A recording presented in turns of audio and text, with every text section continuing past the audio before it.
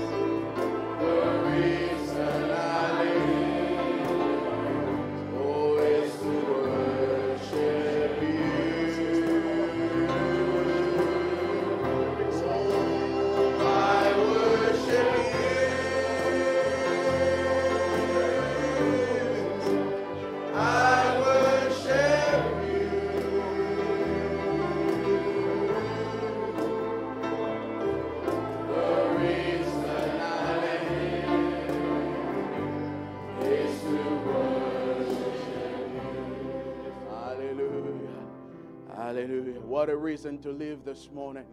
To just worship Him and praise Him and all our lives to just be about Him. Amen. Amen. Let's just bow our heads and this morning in prayer. Our gracious Father, we're so thankful to be gathered in your presence, Lord. And Father, we hear, Lord, as sheep of your pasture, Lord, and inviting you this morning that you may come and take the service into your hands, and Lord, and from the song to the preaching of the word, Lord, we like to hear from you this morning, Lord, and our heart panteth after you, Father. We pray that you may speak to our hearts. We love you and invite you this morning in the name of the Lord Jesus Christ, we pray. Amen. Amen. God bless you. To welcome everyone in the house of God this morning. All our visitors, we certainly welcome you. We invite Brother Mike for our psalm reading this morning. Amen.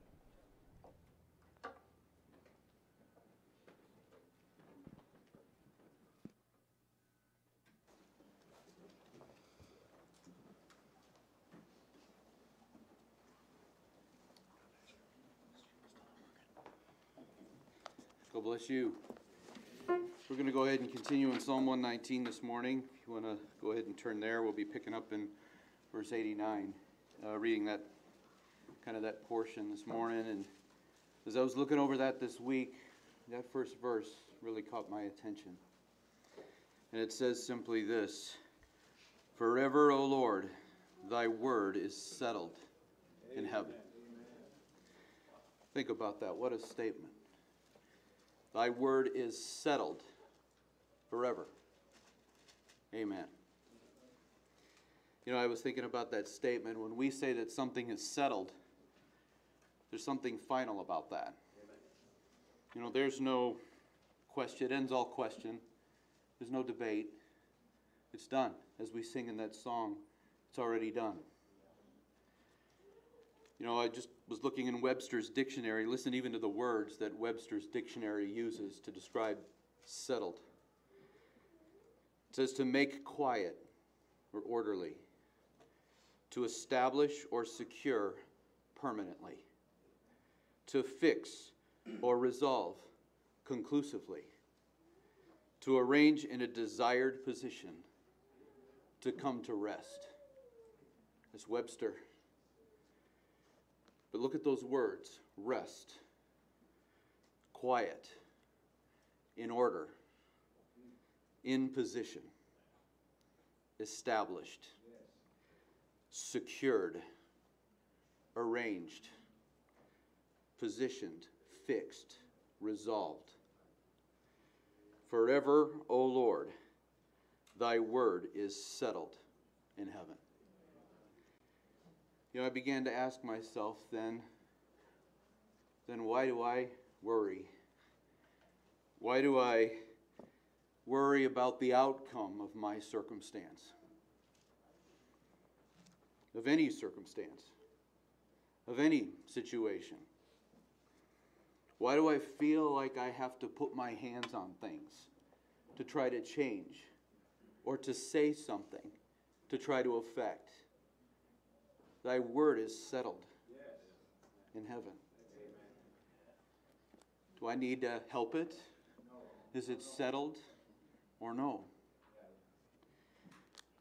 You know, Jesus, when he was speaking on the Sermon on the Mount, when he was teaching his disciples how to pray, he said in Matthew 6:10, he said, Thy kingdom come, thy will be done in earth as it is in heaven. Well, we know that his will is his word. That's what we've been taught. You know, so if it's already settled in heaven, then all we need is to see that manifest in the earth, in this earth. You know, our prayer might be instead of, I hope it goes this way, or may it go this way, or can you solve my problem, or can you meet my need?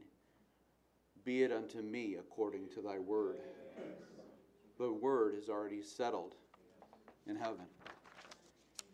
You know, how many times did Jesus say, Be not afraid, only believe? It's really just a question of whether this earth can get aligned with the word that's already settled in heaven. Where we get hung up, where I get hung up, is where I forget that that word is already settled regarding any circumstance and that I need to put some work to it. You know, be it unto me according to thy word. Let it be done in earth as it is in heaven. You know, the question is do we know what the word has declared and said about it? And are we willing? Do we believe that ultimately this earth will match what's spoken and settled in heaven? You know, the portion of the psalm, the last verse 96, David's observation is, I have seen an end of all perfection. You know what that means is the most perfect plans and efforts and creations of man. The best we can do, the best we can build, the best we can think, the best we can plan, all comes to an end. But thy commandment is exceeding broad. That means there's no end to it. I can't find the borders, I can't find the edges. You know, so As we read this portion of the psalm this morning, we're just going to read those eight verses, verse 89 to 96. Just, you know, it was a reminder to me that everything we see in this earth is just things being positioned to match what's already settled in heaven. And my prayer for myself is be it unto me according to thy word. Heaven and earth shall pass away, but my word shall not. Let's read that portion of Scripture this morning, starting in verse 89. Forever, O Lord, thy word is settled in heaven. Thy faithfulness is unto all generations. Thou hast established the earth, and it abideth. They continue this day according to thine ordinances, for all are thy servants. Unless thy law had been my delights, I should then have perished in mine affliction. I will never forget thy precepts, for with them thou hast quickened me. I am thine, save me, for I have sought thy precepts. The wicked have waited for me to destroy me, but I will consider thy testimonies. I have seen an end of all perfection, but thy commandment is exceeding broad. Amen. Amen. God bless you. You may be seated. Amen. Why don't we sing He Abides, He Abides this morning? Amen. Oh, I'm rejoicing night and day as I walk to Pilgrim's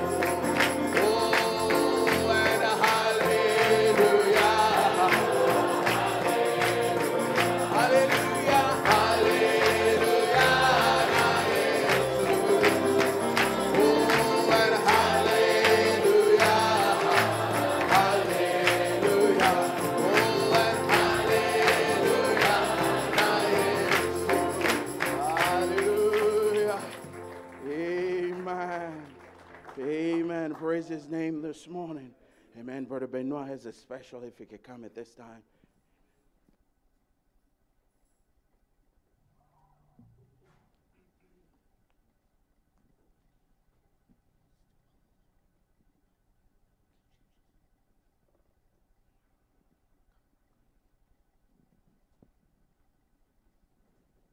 God bless you.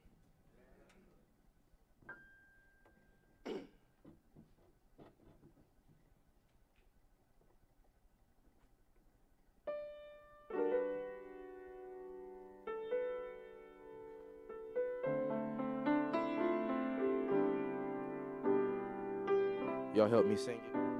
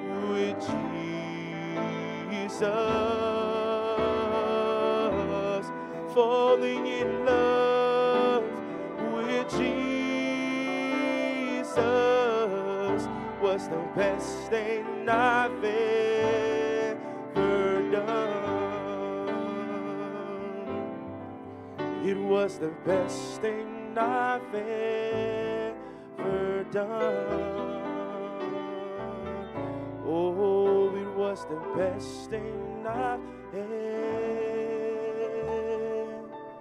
ever done.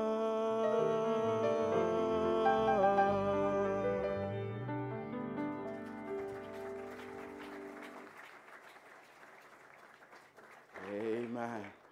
Amen. I trust you're falling in love with Him this morning. Amen. Amen. This morning it's so wonderful to have, Brother Ben Shelley and Sister Gina this morning. We certainly welcome them this morning. Amen. They just got married last Thursday and they're here in the house of God. Amen. Amen. Brother Ben wanted to sing a song, so if he could come at this time, God bless you.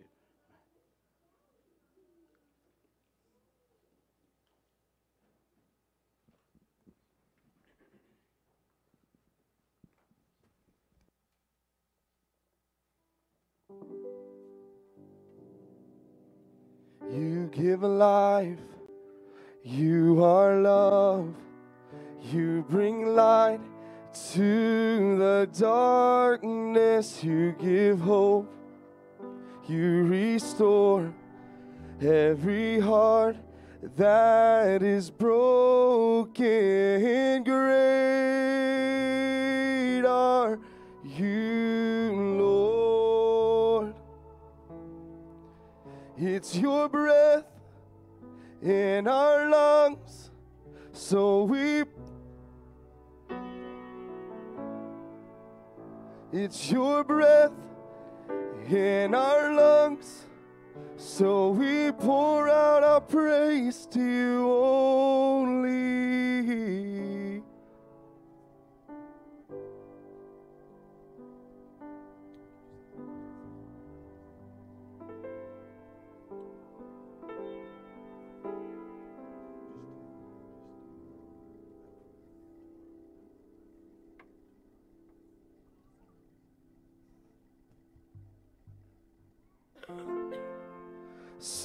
long I had searched for life's meaning, enslaved by the world and my greed. Then the door of the prison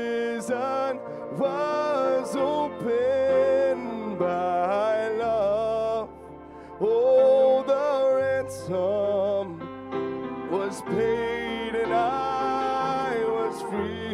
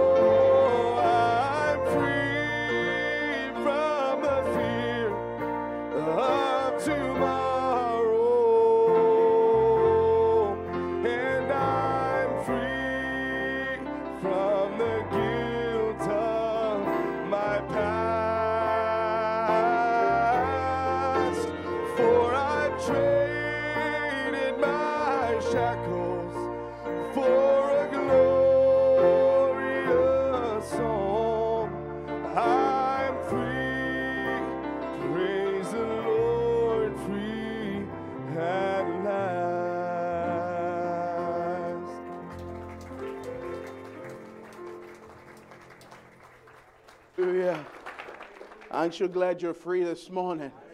Amen. I think it's time to celebrate our freedom. Amen. We have to be aware that we've been made free. Amen. Amen. Well, it's time we'll invite the brothers that are taking the offerings. We have a request up here. Uh, first, I'd like to announce don't forget, tonight is our communion and foot washing service. Amen. We all, all of you are invited. Amen. Um, uh, Brother Joel Avila writes, God bless you, brothers and sisters. Please pray for a customer of mine.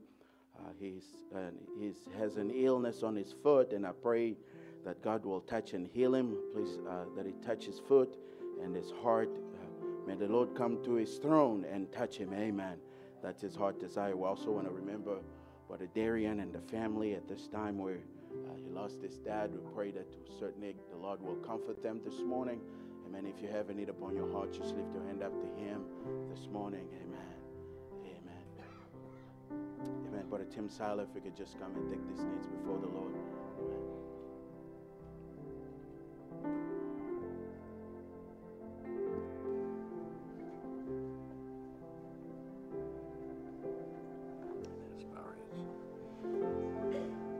Gracious and kind Heavenly Father, we're thankful, Lord, this morning that you hear the groanings of our heart, Lord, the murmurings of our speech. Lord, you're a discerner of the thoughts and intents of the heart.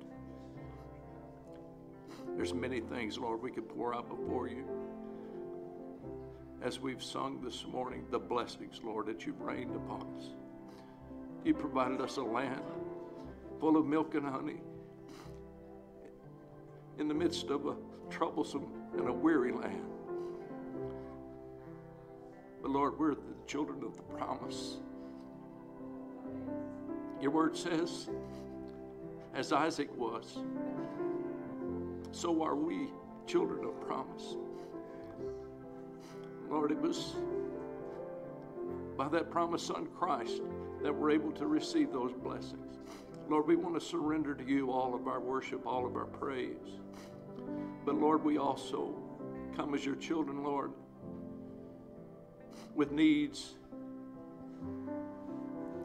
Lord, with comforting. Lord, just healing. We think of Brother Darian this morning, Lord, a faithful servant. His dad, Lord, being laid to rest. Lord, he's better off. But Lord, we pray for those that he's left behind. Just give us peace, Lord. Faith and belief, Lord, that we'll all meet together very soon. Lord, we ask this morning, Lord, those that are in this assembly, Lord, as we leave this place, Lord, surely we've seen you lifted up. Lord, we ask that you just bless each one for their attendance this morning, Lord. We can't go out here the same person. But Lord, each one has traveled far. Lord, those that come from even next door, possibly. Lord, be a blessing to them all, we pray. The Lord, you work wonders when we get in your presence. Lord, the supernatural presence will never be the same. So, Lord, all these needs, we just pray and ask, Lord, that you be with each one. Brother Well, Lord. Lord, when your word comes forth, may it strike fertile ground and spring up into everlasting life. Grant it to us now as we lift your name on high. We ask all these things and blessings in the name of the Lord Jesus Christ. Amen. Let's just sing that this morning. Amen. Sister Juliet's a special for us. Let's just sing that as she gets ready. Oh, yes, is yes is love.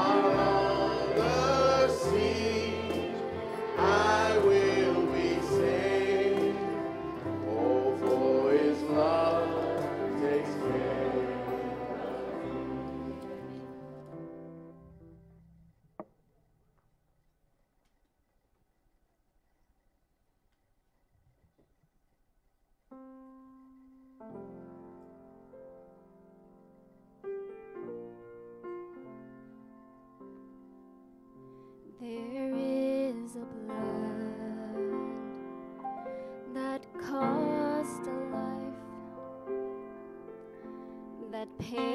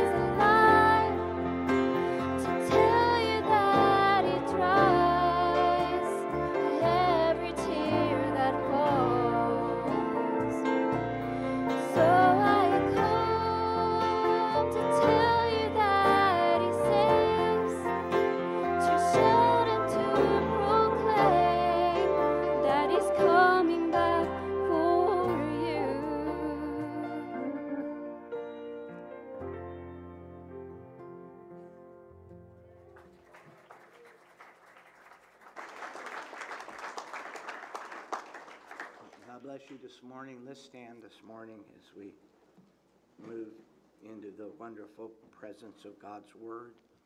Uh, it's nice to have our special guests with us. Ben and Jenna, I guess last Sunday wasn't the last time. God is so good to me. Preacher, Brother Shelley, so nice to have you this morning and wonderful presence of the Lord with us. Ben, you always bless me when you sing. I hope your pathways, at least, it's a 50 50, isn't it? 50 here, uh, 50 in Alabama. Is that good, brother? You go for that? Thank you, my brother. Your smiles, your smile tells it all. Uh, amen. Do you love God's word? You know, our whole existence is based on what was done for us at Calvary. Um, that one great sacrifice for sin set so many of us free. And there's only one place that God meets a man, and that's under the shed blood. You couldn't dance in the spirit, you couldn't lift your hand if there wasn't a blood sacrifice that was laid. And when this man died, all our sins were remitted, and there's no more consciousness of sin. And it, it's so wonderful. And that love, there's a song that we're going to sing when uh, we invite Brother George this morning. Here is love, vast as the ocean, loving kindness as a flood. When the Prince of Life, a ransom, shed for us his precious blood. Let's never forget it. What a wonderful thing that is done. So, as we sing this this morning, Brother Billy will help me sing. Remember that you're not approaching Him this morning on your own merits. You're not approaching Him because you have anything to offer. You're approaching Him because He has a blood covering. That you can walk up in the presence of that blood and that's what he sees. He sees a forgiven sinner. He, see, he doesn't see what's been thrown in the sea of God's forgetfulness. That blood gives us equal access this morning to that throne. So, whatever request you have on your heart, whatever desire that you'd ask God to do, it's been purchased for you. This great love that we sing about this morning as we invite our brother to come. There is love as as the ocean.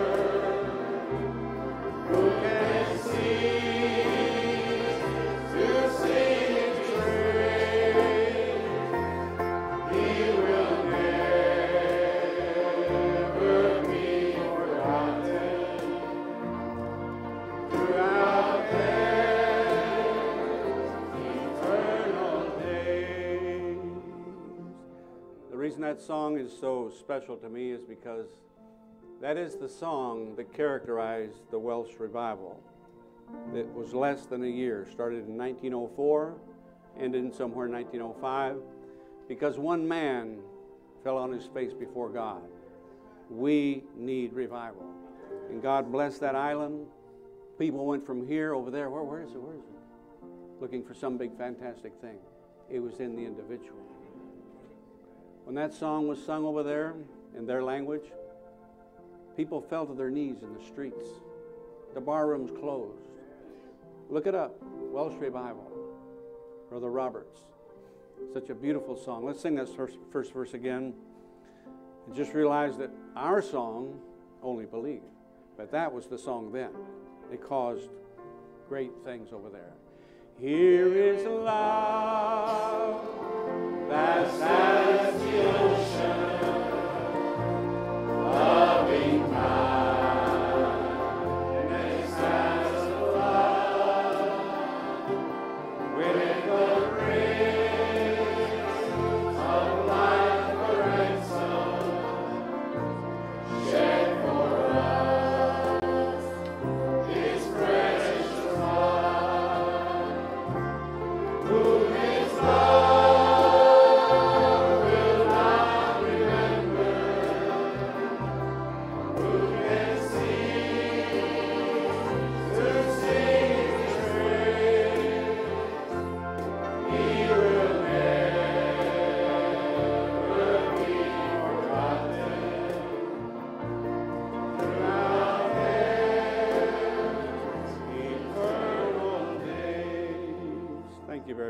you're standing, take your Bibles and open to Proverbs chapter 3.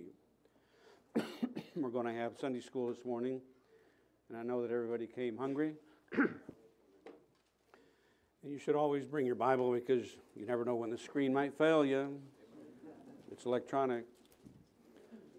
Proverbs chapter 3 My son, forget not my law, but let thine heart keep my commandments. For length of days and long life and peace shall they add to thee.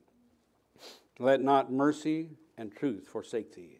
Bind them about thy neck, write them about the heart, about the table of thine heart. So shalt thou find favor and good understanding in the sight of God and man.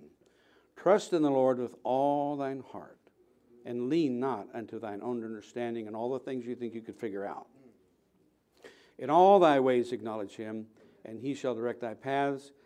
Be not wise in thine own eyes. Fear the Lord, and depart from evil. Heavenly Father, we thank you for this opportunity to be here in Texas today.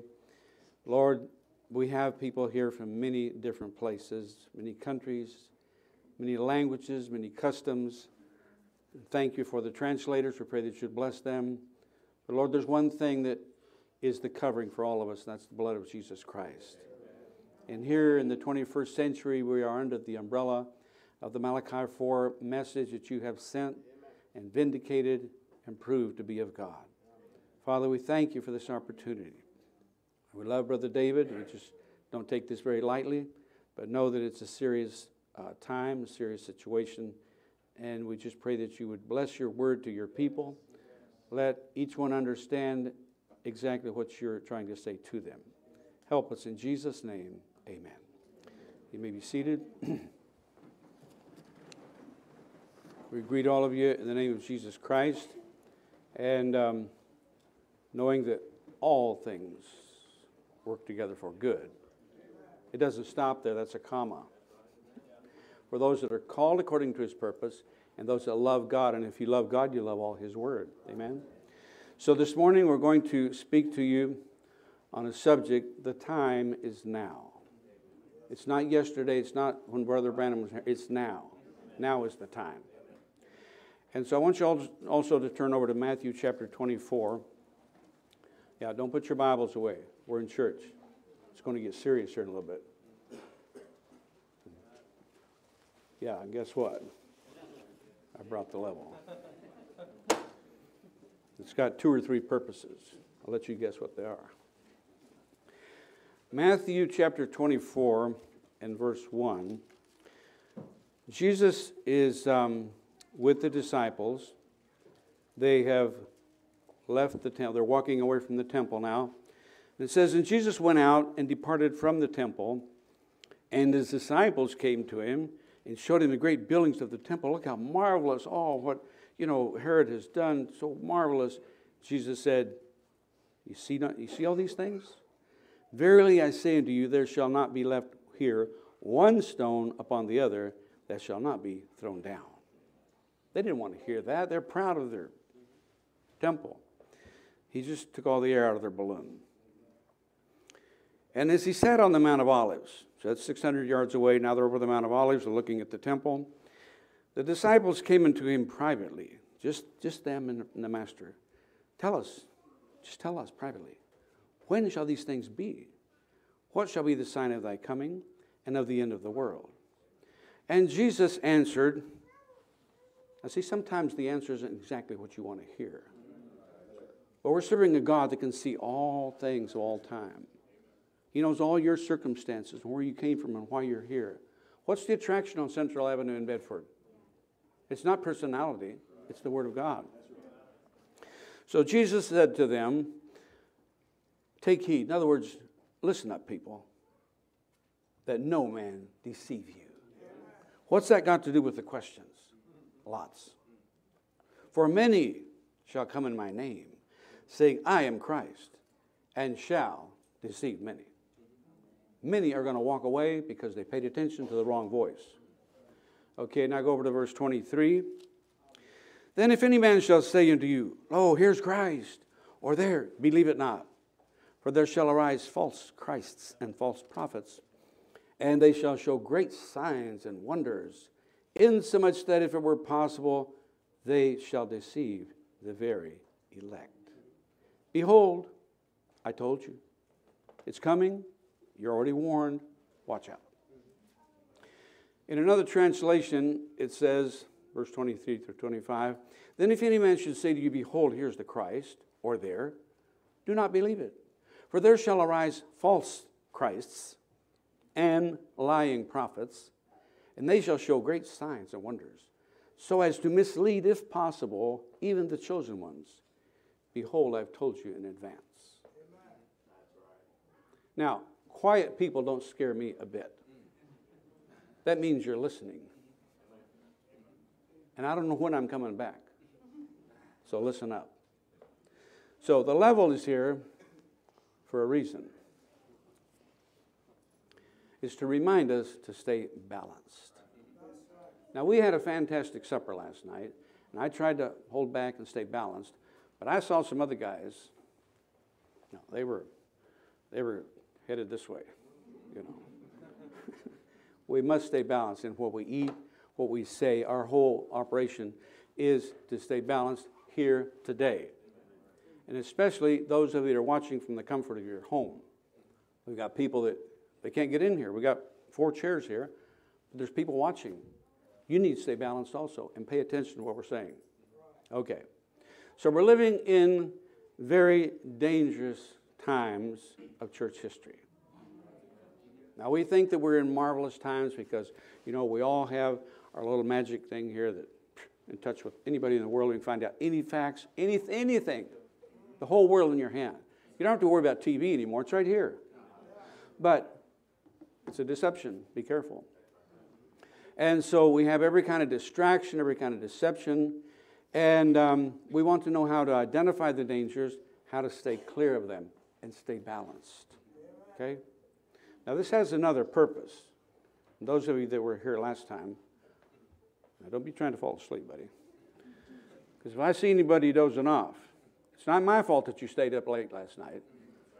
Now, we don't have a coffee bar here, but if I see anybody dozing off, I can buy another one of these, you know. so, Revelations 19, turn your Bibles so that you know we're not pulling some funny stuff on you here. Revelations 19, verse 7 says, Let us be glad and rejoice and give honor to him, for the marriage of the Lamb is come, and his wife has made herself ready. And to her, that's you, not some angels, no, to, to God's bride, to his wife. To her was granted that she should be arrayed in fine linen, clean and white. For the linen, for the fine linen is the righteousness of the saints. That is coming very soon. Maybe tomorrow, maybe Friday, I don't know, but very, very soon. Okay? But in the meantime, today, right here in your daily life, here in Texas and wherever you're from, 2022, there will arise false Christ. Now, we spend a lot of time preaching on positive promises and building the faith of the people and, and getting things, you know, pushed forward. But I got news for you. There's some negative promises in the Bible that are equally uh, uh, equal weight, and they will come to pass whether you like it or not. We got to take all the word. When we go to the buffet, we don't just take the chocolate pie. No, you got to take all of it. You got to be right. You got to be balanced. You see. So there will arise false Christs. That's anointed ones, very anointed, and cause others to believe. Yeah, and lying prophets. Doesn't sound good, does it? Because we know about one prophet. Well, there's lying prophets also. Uh, so they don't all speak the oracles of God with pure heart, heart and mind in order to help God's people? No, that's not the intention of some people. You see? And they, the anointed ones and the lying prophets and preachers, will show signs and great wonders, great explanations, great opinions, so as with the intention of misleading, if possible, even the chosen ones. So the time is now. Now, in Revelation 7, we have where the scriptures talk about the 144,000 Jews. That sounds like a lot of people but it's not. In Israel today, there's probably, well, yeah, in Israel, there's about 9 million Jews. There's more than that in New York. They're in Atlanta and Cincinnati and Dallas and everywhere. So 144,000 is just a small portion of the whole deal. It says right there in Revelation 7 of the tribes of Israel. We don't have to guess who they are. So there's not going to be one more and one less. There won't be any empty chairs. No, it's a perfect package, you see. And um, God is watching over his heritage. Now, in the natural, very few people know what tribe they're from. Okay? There's some that do, many don't. But God does. He's got a computer that doesn't crashes. He's got, he's got a laptop that's always ready, you know. And um, he's in total control of all the details of their life and of our life. See? And so there's a great anticipation amongst the Jews even today. Yes, I've been there. I know some of these people. And uh, they will, the, the ones that are serious, They'll tell you, oh, the Messiah's almost here. But first, we'll see Elijah. They've been taught about Elijah since they were born. So they know what kind of what to look for. They're ahead of us. We didn't know nothing about Elijah. You see. Anyway, so it's about to happen. And then when we focus closely, we are a many membered body. I mean, just right here. We've got languages, we've got colors, we've got everything. You see, people called out of the confusion of Laodicea for his name's sake. Not to shine, oh, I'm so and so. No, for his name's sake. Okay? To show a living Christ to a dying generation. Okay? And then, but see, God in his great wisdom and in his foreknowledge, he uh, has predestinated a, a certain number called the bride. Okay? Redeemed by the blood of the Lamb. And that's why when you, uh, you know, you get all excited and you want to testify to a neighbor or whoever, and they reject it, they're not part of the program. Not everybody's going. Not everybody carrying King James Bible is going either. I'm hate to tell you, but there's, there's three kinds of believers sitting right here. And don't worry about who the other one is. Who are you?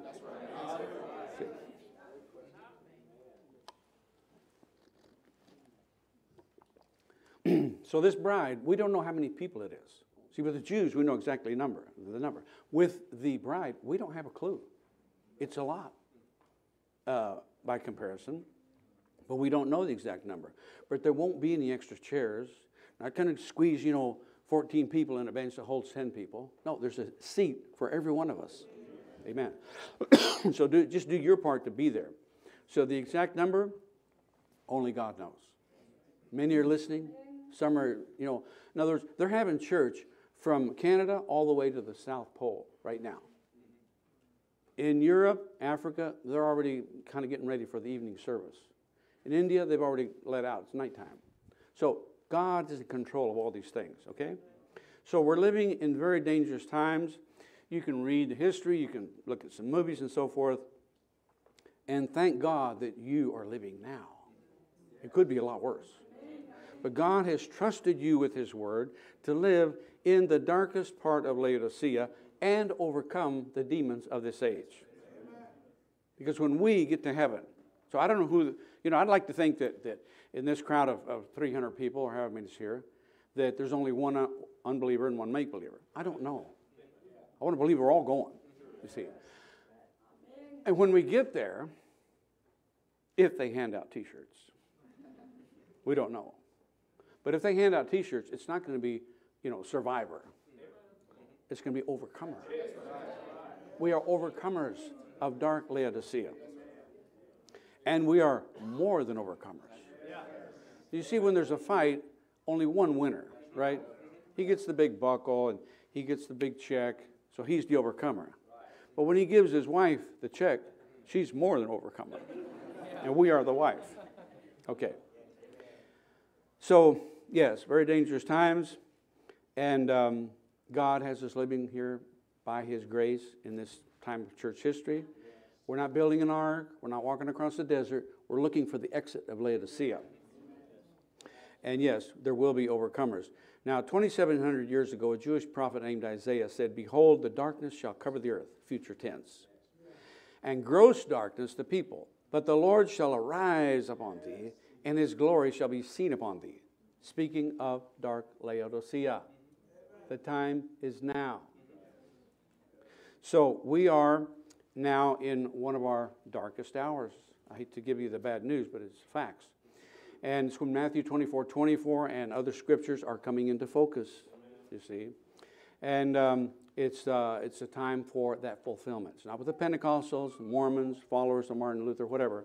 No, dear, right here amongst us, our friends, our loved ones, carrying these same prophetic manuscripts, carrying the same King James Bible.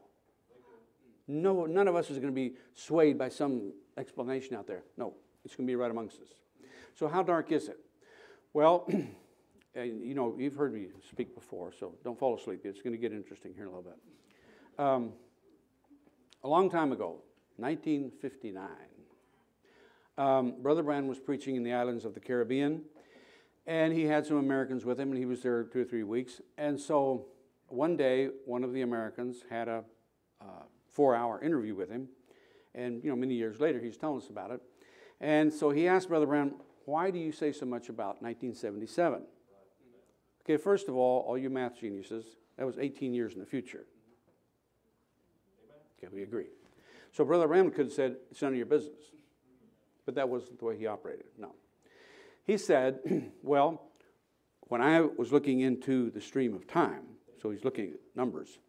He said, "It got to 1977. It was so dark, I didn't see how any believer could live in such darkness. That's why." Now we've lived. I mean, there's people here that were born a long time after 77.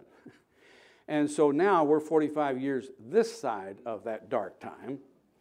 45 years darker, 45 years more corrupt, 45 years more subtle. It's only used three times in Scripture, always to do with deceit and sinful activity. So we're 45 years closer to the catching away of the bride, the secret catching away. We're not going to go out in a blaze of glory, okay? Secret catching away. So stay ready because you don't know what time. I don't care what they tell you, and oh, this date, forget it. I've heard those things for 50 years. Yeah, this date and that date, and those guys, they drift off, you know. No, we're watching for the secret coming.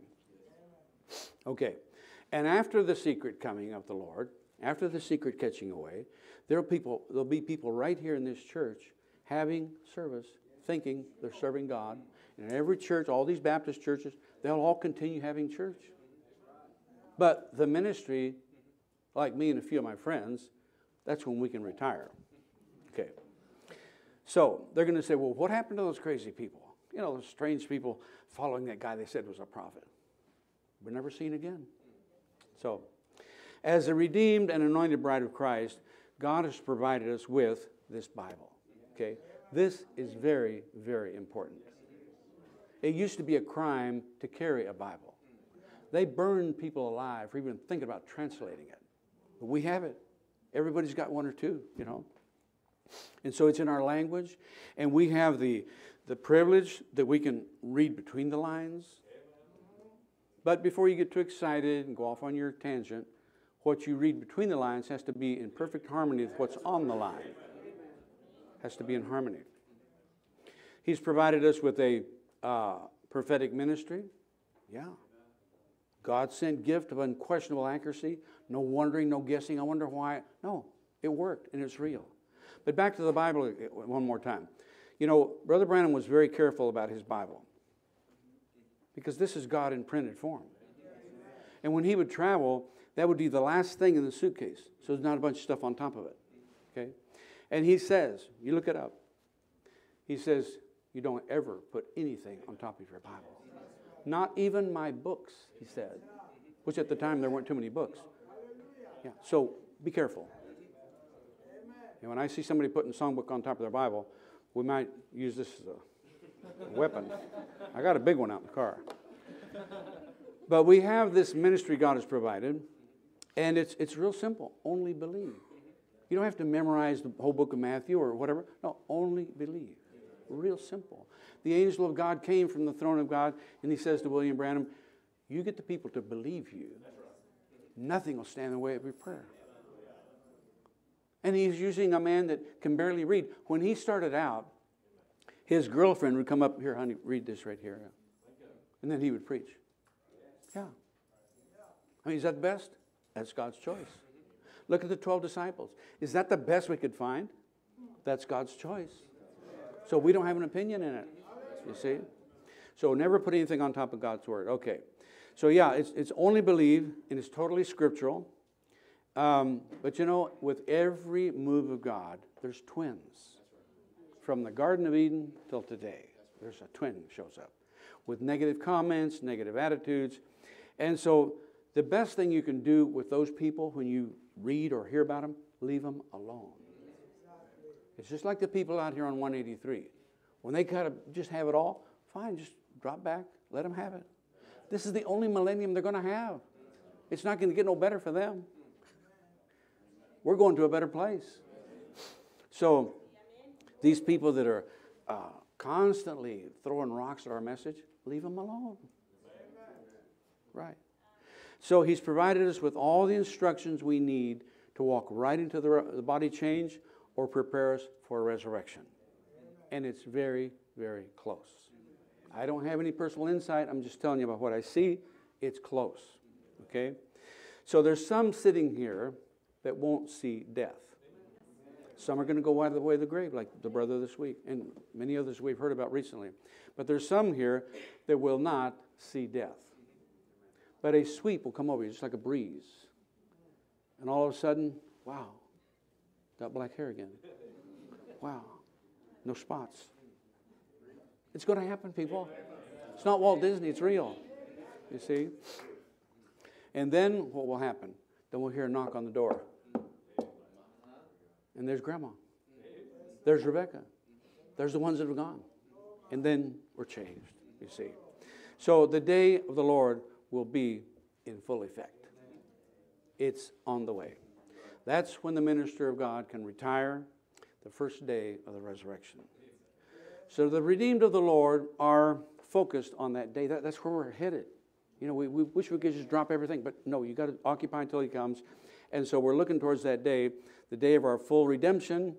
We are focused and keeping in step with God's word, walking in the light that you have. Because each one of us, you know, Christians in progress, we each one have a little bit different light, you know, maybe 10 watt, maybe 20 watt, 100 watt. We walk in the light that we have. And um, we want to maintain a balance as we move along. Now, in Acts chapter 3, open your Bibles again. We are mentioned in Acts chapter 3. Where's it at here? In verse 21, 321. Um, 320.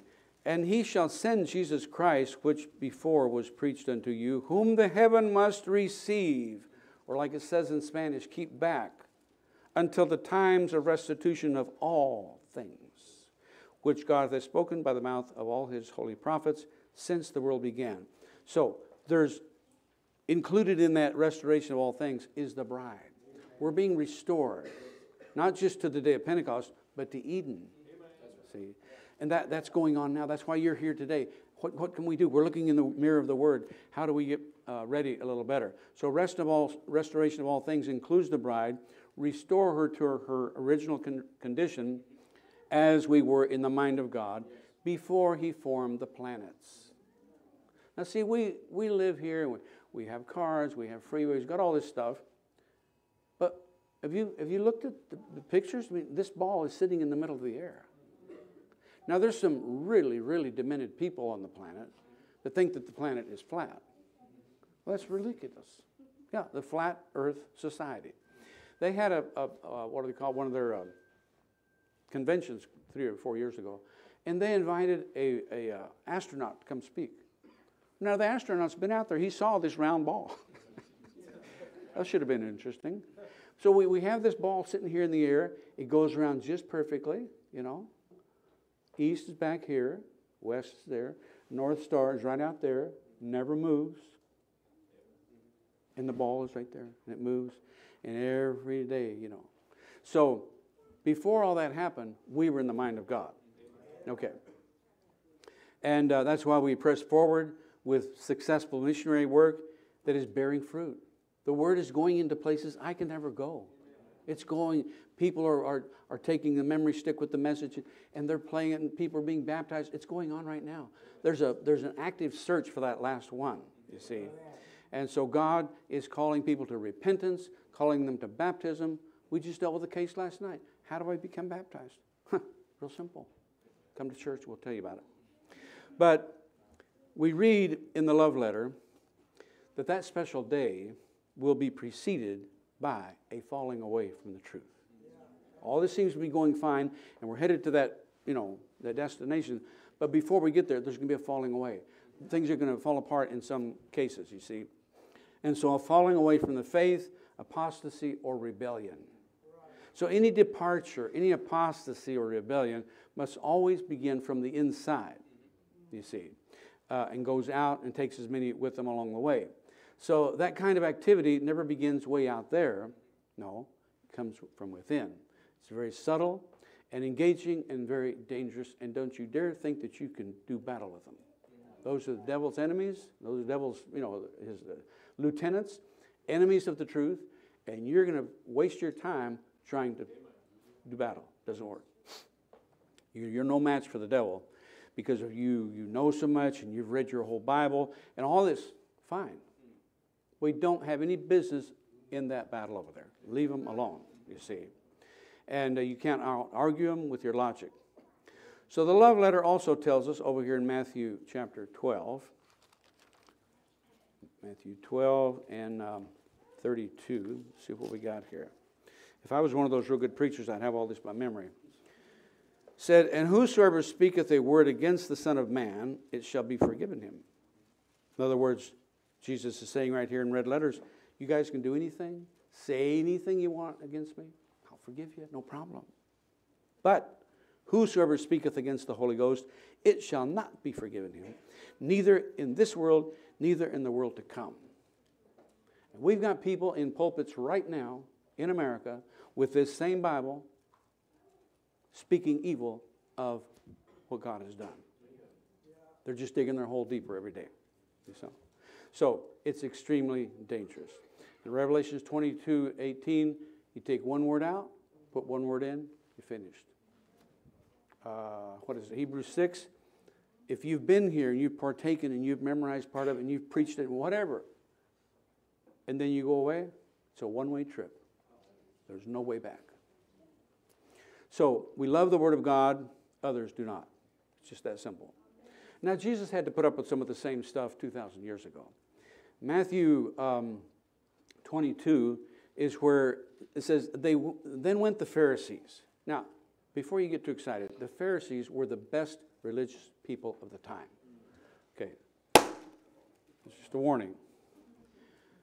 Um, they knew their prophet's words.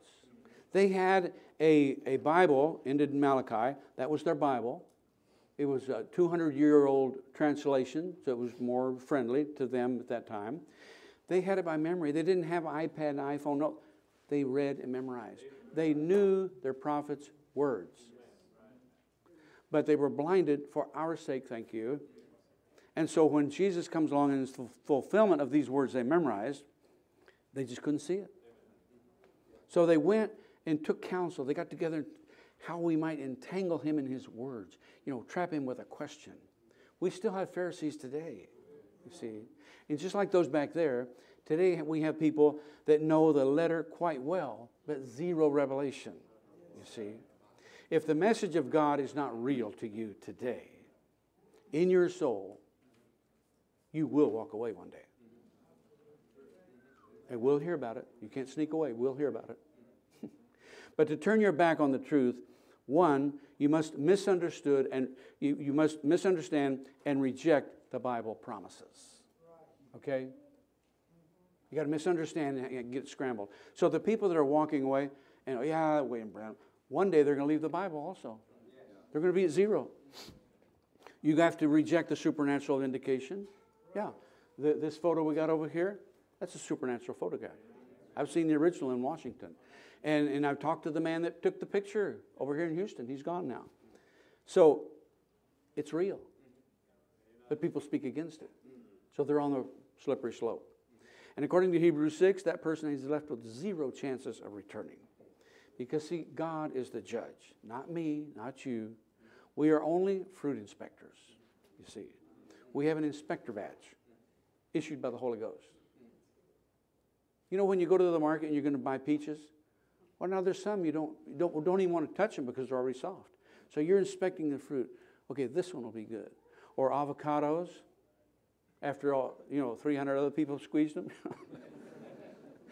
We're just fruit inspectors. And we don't have to touch it, we don't have to say a word, just back away. So God is in charge, He's the judge. Now, in John chapter 8, we have a, a scene that Jesus went to the temple ground. Now, when the, when the scripture says he went to the temple, the temple is small, about maybe half the size of this, but the people all gathered out there in the yard. That's where the people were. So he's over there in the corner of the courtyard with, you know, a group of people, and it's early church. He's sitting there teaching a crowd of, of, of believers. And all of a sudden, who shows up but the twin? The twin always shows up, never misses opportunity. So here's a, a group of very arrogant Pharisees, all men, and they got a woman by the arm. I mean, they got a death grip on her arm. And they drug her out of bed, so she's not dressed right, her hair's not combed or nothing. And, um, and they interrupt him. Oh, we got him now. He's over there with those, those people. And we'll, we'll drag this prostitute over here. So they put her right in the middle, you know, right where everybody could see. And they posed a loaded question. And they probably each one had a few rocks in their pocket ready to perform what the prophet said to do kill this sorry outfit with a rock, you know. Yeah, they were ready and uh, ready to judge. And so, um, because the Pharisees' job was to make Jesus look bad, okay? And uh, let's see, where are we at? John chapter 8. And let's see here, in verse 4. And they said unto him, Master, this woman was taken in adultery. We drug her out of the bed. I mean, so it says. Now, our prophet Moses in the law commanded us that such should be stoned. What do you say? Are you, are you willing to contradict our prophet Moses? But see, they were only half right. Moses said, Bring both of them. So this could have been a setup. They didn't bring the guy, you know? And uh, so they're trying to make him look bad. He acts like he doesn't hear him. He goes over there and starts scribbling, he's writing in the sand. We don't know what he wrote. It's not important, you know. And so they're continue with their with their accusation, and um, and uh, they thought he was down there looking for a rock, yeah, yeah. and um, to help them fulfill the law, you know, words, literal words of their prophet. And so when they finished their accusation, he he raises up. He heard everything, and he looked around and tell you what, boys, the one of you that has never stole a pita bread, you never looked at a woman with any kind of bad thoughts of any kind, the one that's free from sin, throw the first rock. Well, of course, nobody qualified. So the scripture says they start tiptoeing out. Whew, we didn't think about that. Let's get out of here. You know? And so Jesus had these things, you know? And he goes down and continues writing, but then he erased it all. Now we've got to put that in because we've got people so narrow minded. They think that the showbread is still over there someplace. We can go see it. They think we can go over there and see where Jesus wrote in the sand. Honey, 2,000 years have passed. Things change, you know. They've had 25 wars. So they, they started to just get away. By discernment, he was able to see her entire life, okay?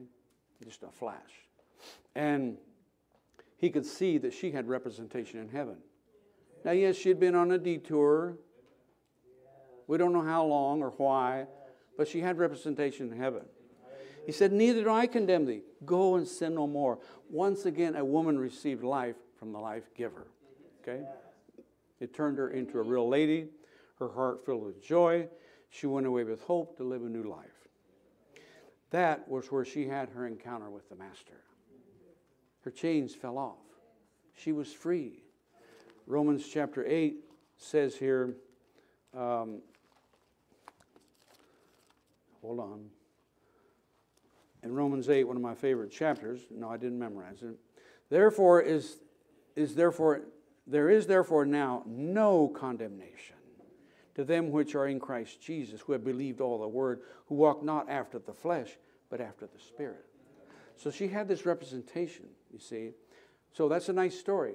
Now, what about you? Have you had your personal encounter?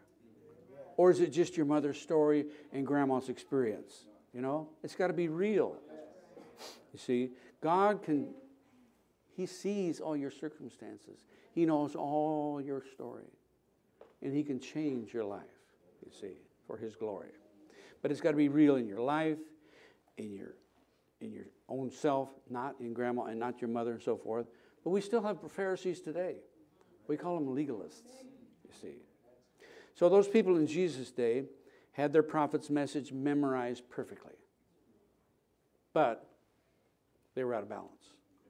Really out of balance. Now, we're not going to put it all the way this way because, see, this way is the long part of the cross. That's your prayer life. You want to get close to God, you pray, you read your Bible. Come to church. Okay. But if you maintain your prayer life, God will take care of the horizontal. Okay, moving right along. So they had all word, no spirit, no revelation, and they had memorized it by constant repetition. It became a form, you know. And they still do it today. Because from way back there, way back, every Sabbath, that's yesterday, every synagogue on the planet reads a part of Moses. They have their spoken word book. Yeah, they read the, oh yeah, we're all together. That's called organized religion. Not interested. Okay. So we must worship God in spirit and in truth. See, that's what he told the woman at the well. We were, God is looking for those who are worshiping in spirit and in truth, perfectly balanced. You see. So your life will reflect what's on the inside of you. You can't, you can't deceive a four year old. They can see right through you. you know. And so uh, your life will reflect what's on the inside, no matter how much word you memorize and try to act like a Christian, because anybody up and down this avenue can read and repeat. That's not what it's about. It's about it coming alive. Okay, turn over to 1 Timothy chapter 4. I might not get invited back for a while, so we got to get it all out today. Where's it at here? 1 Timothy chapter 4 and verse 1. Now the Spirit speaks expressly, that means precisely, that in the latter times, that's today, now is the time, that some shall depart from the faith. They were in the faith, we thought they were tight, they left. Giving heed to seducing spirits and doctrines of devils, speaking lies and hypocrisy, having their conscience seared with a hot iron. Sounds pretty bad, doesn't it? The uh, Lamsa Bible says misleading spirits and doctrines of devils, where Scofield says seducing spirits. Well, yeah, misleading spirits, you know, doctrines of devils. So it's very serious. You better know where you stand, and having done all, stand. Do not engage in conversation with doubters, those that don't believe what we believe. Leave them alone. You're not going to change them. Now, your life is what you got to watch. You see, um, uh, a lot of people, you know, a lot of a lot of women, they don't know why they have long hair or why they wear long dresses, but it's Word of God. You know, so you act like a Christian, you be a Christian. If there's something in them to wonder, they'll ask, and you can have, a, have an answer. So yeah, we are in very, uh, very uh, difficult times. No conversation with doubters, negative people. See, that was the fatal mistake that Mother Eve made. And um, she listened and then she responded. Really? Oh, are you serious? And she got involved, tried to argue, and we're still paying the price today. Spirits don't die. Okay, back in your Bible. 2 Peter chapter 1. One thing I want to tell you about Peter Peter was ignorant and unlearned. He couldn't read, he couldn't write. Well, how did all this happen? Because he had some people helping him. He had some good people helping him. Yeah, that's the way I want it said. Yeah, and so they eventually come up with these two letters. Okay, where are we at? First Peter, uh, Second Peter, chapter um, one. Let's see, chapter one and verse fifteen. Moreover, I will endeavor that ye may be able, after my decease, to have these things always in remembrance. In other words, he prepared all this because he knew he was going to die, and I want you to, you know, have what I have. Why? Uh, for we have not followed cunningly devised fables. Now, see, that's not just something, uh, another opinion. No, cunningly devised fables, something to mislead by, by design, you see. When we made known unto you the power and the coming of our Lord Jesus Christ, but we are eyewitnesses of his majesty. He knew what he was talking about. He was ignorant and unlearned, but he got with some brothers, and one of them was named, named Silvanus, I think, and they, they got his thoughts onto paper, and we have it here. And that's why it's very important. Many of you, some of you might not like it, but we have a church age book. Mm-hmm. Yeah, that's the message in a nutshell. There's what he wanted to say. Brother Branham never allowed any of his message to go out verbatim, you know, word for word. He wanted it sanded, he wanted it presentable. So, these things may sound fantastic, maybe impossible to comprehend, but it's all truth. It's food for the soul. And so they're in, in 2 Peter, or 1 Peter, where we were at. Let's go back there just a minute. 2 Peter, we were in um, uh, chapter 1 and verse 16. So look at 17 and 18. For he received from God the Father honor and glory when there came such a voice from him from excellent glory, This is my beloved Son, in whom I am well pleased. And this voice which came from heaven we heard when we were with him in the holy mount. Yeah, he was a, he was a witness. See, I'm not an entertainer, but I am a witness of a powerful message. It is real, okay? Uh, Jesus said over in John 6:53, "Verily, verily, I say unto you." And he's talking to his disciples. He's given them the, the, the, the real important part here, chapter 6. If you do not eat the flesh of the Son of Man and drink his blood, you have no life in you. Well, their first impression, oh, we've got to, no, not eat his flesh. No. Whosoever eateth my flesh and drinketh my blood hath eternal life, and I will raise him up at the last day. Now, the disciples at that moment were kind of concerned. They're a little bit confused, but they stood steady they knew this man came from God. They knew this was a supernatural ministry. They didn't get in his face with stupid questions like we have today. No, they paid attention. Did they understand? No, they didn't understand. But they were ordained to eternal life. Chosen by the Lamb of God, they stood steady, believing that he knew what he was talking about. And they believed the supernatural. They had seen the unquestionable vindication. Now, Brother Branham was sent to us with a very simple verse. What was it? Something everybody could understand. Now, in one of my Bibles, over here in Hebrews 11, or Hebrews, Hebrews 13, um, there's a semicolon after verse 7. Verse 7 of Hebrews 13. Remember them which have the rule over you, so there's order, who have spoken unto you the word of God, whose faith follow, considering the end of their conversation, which would be Jesus Christ, the same yesterday, today, and forever. In other words, they're living what they speak. This verse doesn't just stand out there as a rubber stamp for everything. It, it has to do with the whole chapter. And that's to do with the way we act, the way we carry on our conversation. So he was totally vindicated, no question or doubt. Only believe. It works. Yeah, just, just try it. You know, uh, I remember one day he, he, uh, he told me, he said, Now, George, tithing does work. I have tried it. and you know that it works. So there's, there's these things in the Bible that are real. You just got to put them to practice. So the, the day of redemption is very near. Now, there's two things I want to point out here also about uh, Jesus and his day. You know, the first miracle was the wedding at Cana. Remember? He got a, he and the disciples had an invitation to go to this wedding. It's a little village of Galilee. And so they go over there, and there's his mother and, you know, crowd of believers. And so uh, they ran out of wine. Remember the story?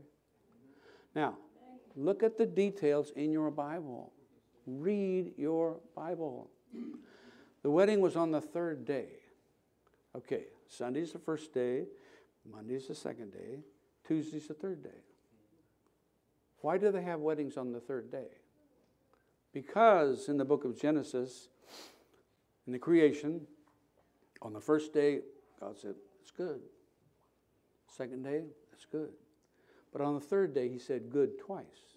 So the Jews take Tuesday for a favorite day to get married. Anyway, so he's there. They ran out of wine, and they go, Mary, Mary, what do you do?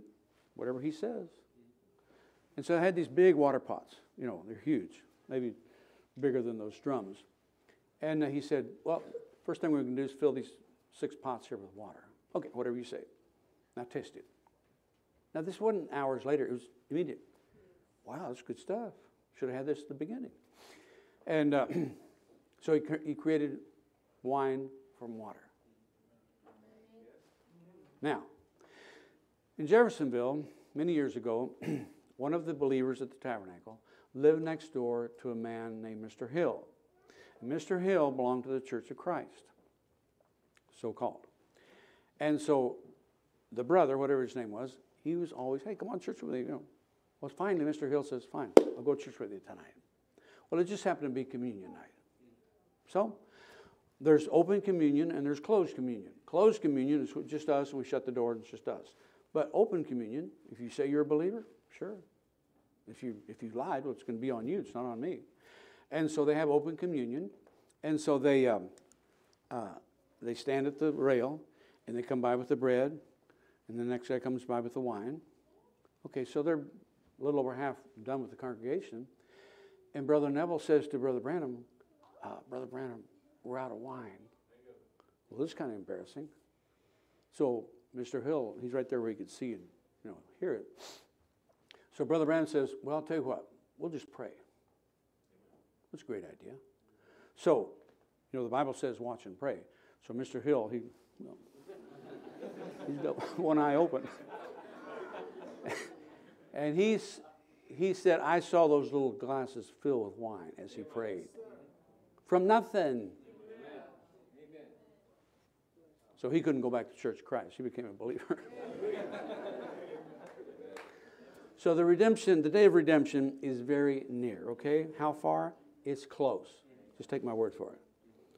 When? When we, the believers, the redeemed, find that last eagle.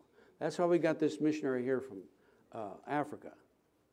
Good friend of mine from many years ago. We were both young and good looking way back there. Brother Jim. And there's, there's work going on that you don't hear about, but it's going on. Searching, searching. And when we find God's last eagle, you see. So God's program is right on schedule. And by the way, his schedule doesn't really include handing out tracts at the mall and the stoplight. No, that's not it. No. Passing out literature is not preaching the gospel. It's a, it's a kind of a hobby, maybe. But you want to get serious about what he said? New ministry, 1959. God knew that we'd be sitting here 10 million years before the world was ever founded. When there was nothing, no planets, we were already in the mind of God, and He knew you'd be sitting here. And so he says, the infinity of God knew every fly, every gnat. So we could add the cockroaches and the, the mosquitoes and all these things. And every time each one would bat their eye and how much tallow that would produce before the world was ever formed. That's the infinite God we serve. And so he says here, well, if he knows all that, why are you preaching? Because see, you, you can get out of balance with, with uh, predestination. Oh, well, we'll just, we'll just sit down. Why, why do we go through all this stuff? Just sit down, let it happen. No, that's not the way it works. Um, if God knows all that, why are you preaching? It's part of God's program. Preaching is his program. Want to say what he said? You're on. When he looked at the disciples, or the apostles, see, there's a difference. Apostles is one thing, disciples are followers. So these were, these were disciples following the Lord. But then they became apostles, sent out, missionaries. He looked at the harvest. He said, You know, the harvest is ripe, the laborers are few. Y'all need to pray to the harvest, Lord of the harvest that he will send laborers into his harvest. Well, why would they have to pray to the Lord of the harvest to send laborers into the harvest if the Lord of the harvest was standing there knowing how it would be done? Great question. He says, Listen, God has so arranged it that his program cannot move without you and I. This church out here isn't going to raise automatically. It's got to be a group effort. So he's so arranged that his program cannot move without you and I. As long as we're not doing what God leads us to do, we're paralyzing his program. But when the church moves under the anointing of the Holy Ghost, then we're in God's will doing his program. So preaching is his program. No more argument. Whose program? God's program the God of heaven and earth. Not my program, not David's program, God's program. So we would do very well to put our little program aside, you see, and get in line and in step with his divine program. Because God sent his fourth Elijah to this generation according to the divine plan to turn the hearts back to the original. This glorious message that we have is the vehicle that takes us back. Okay? The first church age messenger said over here in 1 Corinthians 3 For we are laborers together with God. Ye are God's husbandry, ye are God's building. According to the grace of God which is given unto me as the wise master builder, I have laid the foundation. See, he knew who he was. I've laid the foundation, and another one builds thereon. But let every man take heed how he builds thereon. For other foundation can no man lay than that which is already laid, which is Jesus Christ. And that's why the fifth messenger, Martin Luther, came along in the midst of a lot of stuff. He said, Christ alone. Very important. So, who are these laborers together in the first sentence? Look real close in your Bible, 41 pages later, in Ephesians chapter 4. You got permission to open your Bible? Where's it at here? Ephesians 4 where Paul, being a very intelligent person, he wrote one sentence. Okay? Starting in verse 11, it's one sentence. And he gave some apostles, some uh, apostles, some prophets, some evangelists, pastors, and teachers. For the perfecting of the saints, for the work of the ministry, for the edifying of the body of Christ, till we all come in the unity of the faith and the knowledge of the Son of God unto the perfect man, unto the measure of the stature of the fullness of Christ, that we henceforth be no more children, acting like children, tossed to and fro, and carried about with every wind of doctrine that comes by, by the sleight of men and cunning craftiness, whereby they lie in wait to deceive, but speaking the truth in love, may grow up into him in all things, which is the head, even Christ, from whom the whole body, fitly joined together perfectly, and compacted by that which every joint supplieth, according to the effectual working in the measure of every part, maketh increase of the body unto the edifying of itself in love. Second time, in case you missed it the first time. So that's one sentence. He was a smart man. But it's the gospel all right there, you see. So, why do we have these ministries? For the perfecting of the saints, for the work of the ministry, for the edifying of the body of Christ. And they all work balanced and in harmony. We don't have prophet over here and evangelist over here and, and pastor. No, they work in harmony. Okay? Brother Branham says over here in Perseverance, 1962. I believe that there's a church coming into that perfection. Now, friends, this was 60 years ago. Preaching to people that didn't consider, there was no such thing as a bunch of believers. There was Pentecostal people he was preaching to, some Baptists and whatnot. I believe there's a church coming into that perfection, that ministry of perfection, where the offices, where apostles, prophets, teachers, pastors, evangelists, for the perfecting of the church. Those pastors and teachers and so forth will be so in tune and balance with the word until the whole thing will work right up to the coming of the Lord. I believe that. And I believe that we're nearing that time. I believe it is so. Now is the time. Are you listening? They all work in harmony and balance, just like these musicians. Now you got you got three violins, you got the organ, you got the piano, you got the guy beating on the thing over here. Okay, so they got to work together. There's no very important, oh, it's all about me. No, you don't see that up here.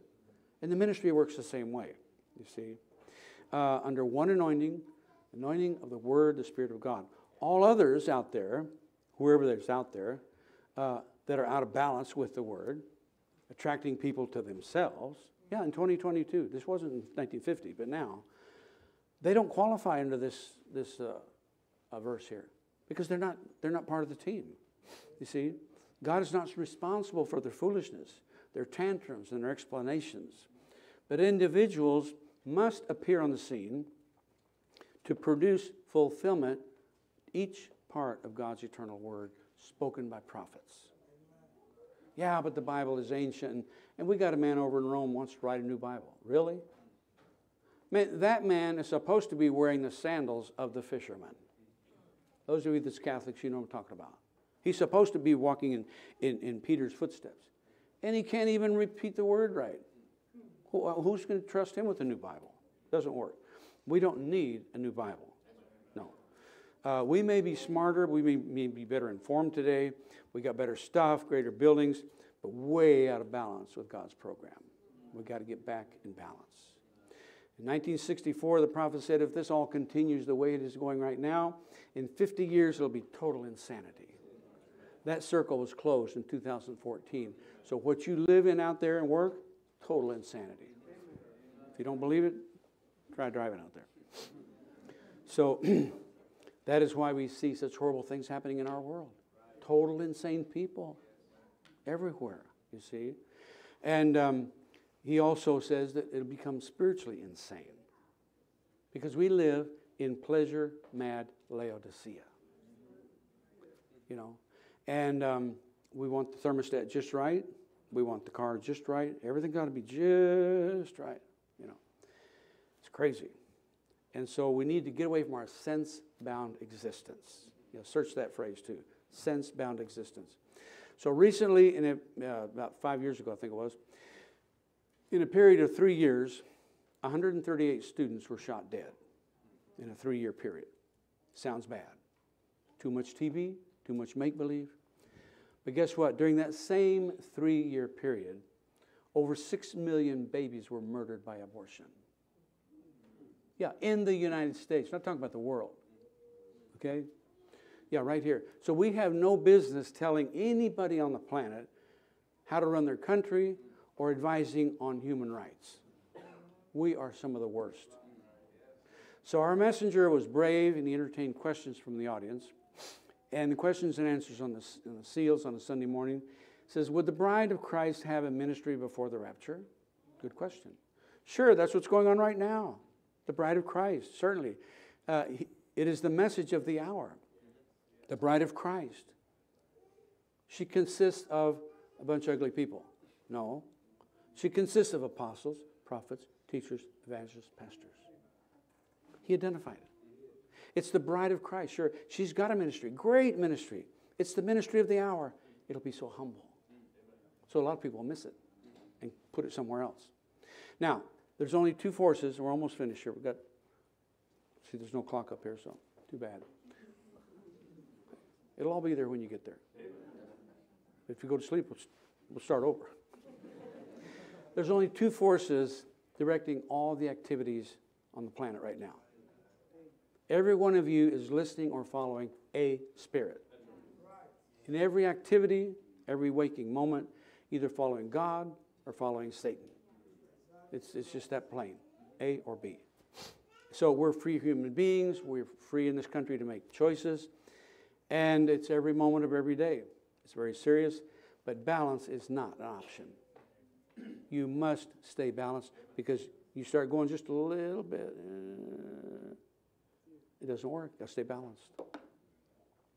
Brother Branham says, You follow the scriptures. See if the spirit follows the scripture.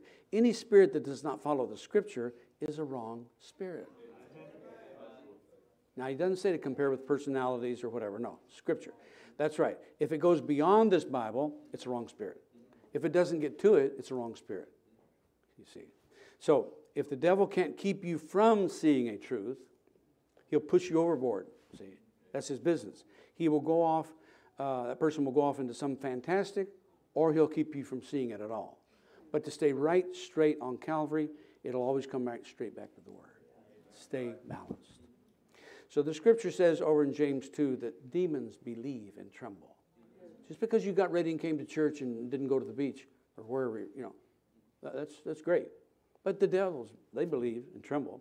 Unfortunately, we have people today carrying this same book, same Bible, and so forth, claim to believe.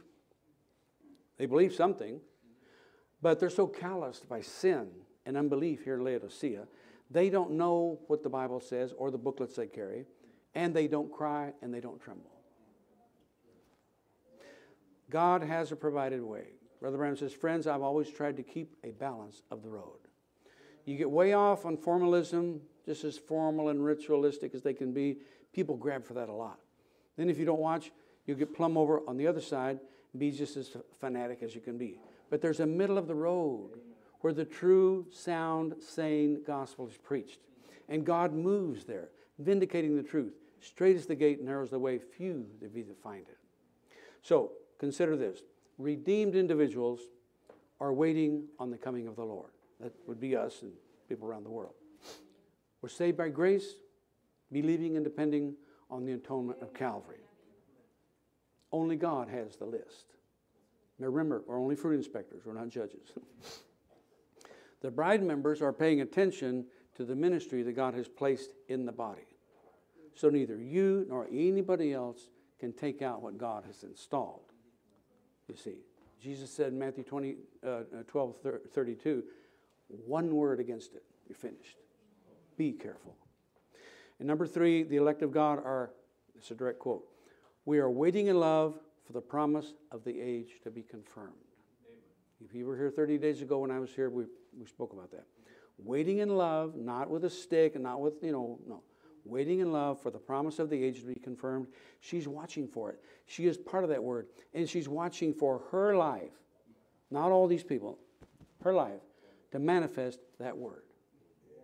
But we're still, see, we're up here getting towards the top of the pyramid. We're in the age of perfection, and we're, looking, oh, yeah, you need to, oh, what are you doing? You know, no, look at yourself. Am I ready to go?